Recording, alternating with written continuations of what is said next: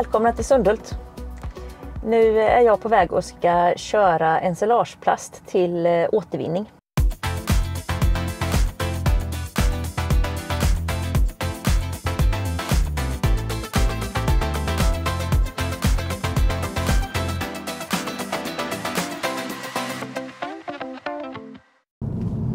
På vintern så utfodrar vi ju solskyddsfarmarnas djur med ensilagebalar.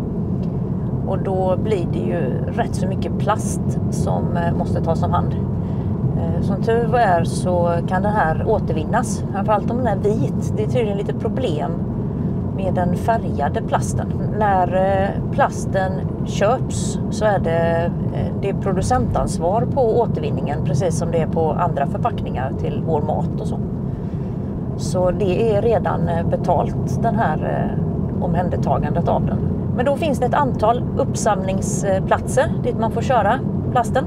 Och jag är nu på väg till eh, Skogsäng utanför eh, Ullared.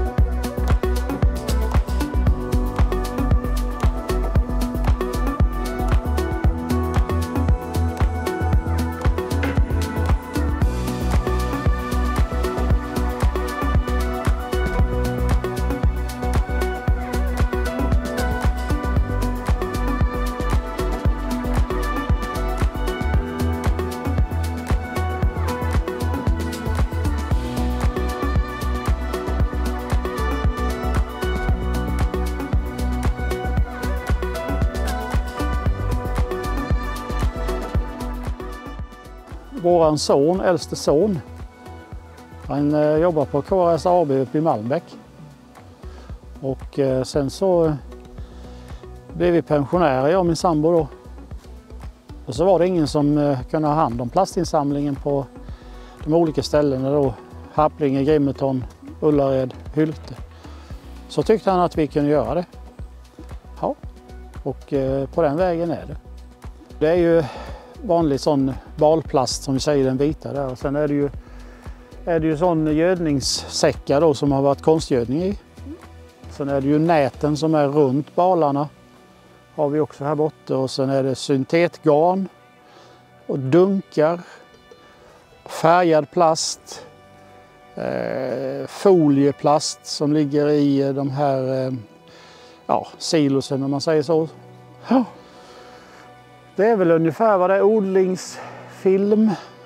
Så det, det är ungefär det som är.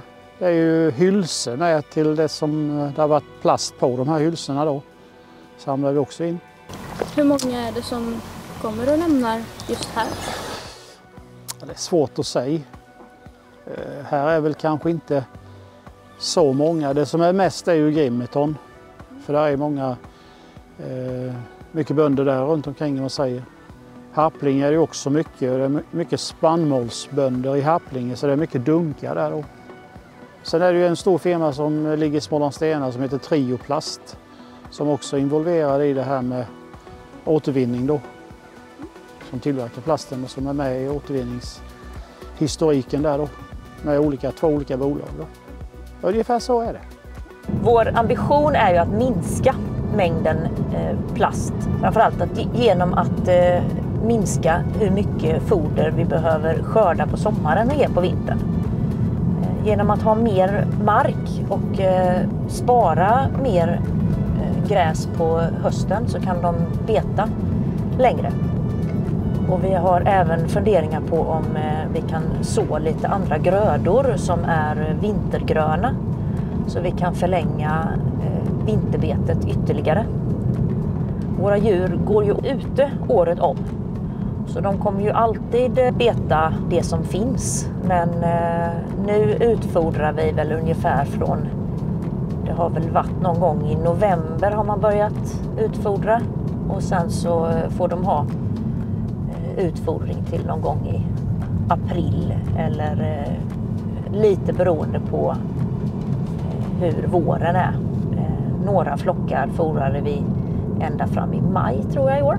Vi håller på att förbättra våra marker hela tiden genom att eh, flytta djuren ofta i små follor så att eh, betet inte blir överbetat och eh, att det blir lång tid för återhämtning.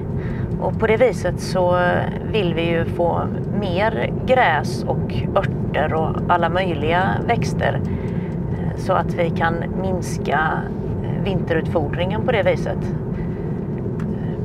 Vi vill ju ha en eh, hög diversitet på betet så att vissa växter kanske växer längre på hösten och vissa vissnar fort. Och kan vi då få en eh, stor blandning så eh, kan djuren beta under längre tid. Det finns ju de som låter djuren beta och skrapa undan snön och beta under. Vi får väl se hur långt som eh, vi kan få det. Men eh, all plast som vi kan eh, minska är ju bra även om, även om den återvinns så är det ju alltid energi som behövs när man skördar på sommaren och utfodrar på vintern. Två stycken släp blev det att köra till återvinningen i år. Eller ett och ett halvt kanske man kan säga. Vi kan eh, hoppas att eh, nästa år så blir det bara en släpkärra. Men tills eh, dess så ska vi väl se till att göra riktigt många filmer. Men för den här gången så säger jag hej hej från Sundhult.